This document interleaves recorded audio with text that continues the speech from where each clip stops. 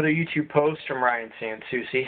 Uh, this one is about picking your guide in the TV show that I want to do. It'd be called Pick Me and My Guide.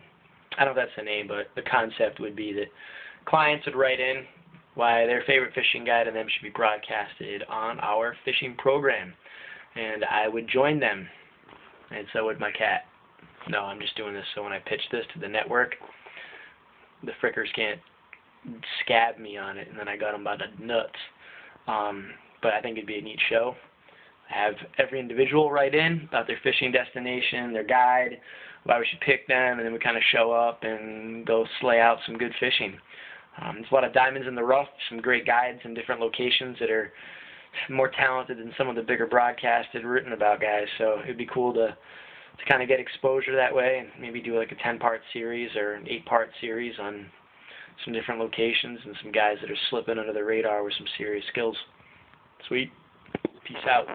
December 2012.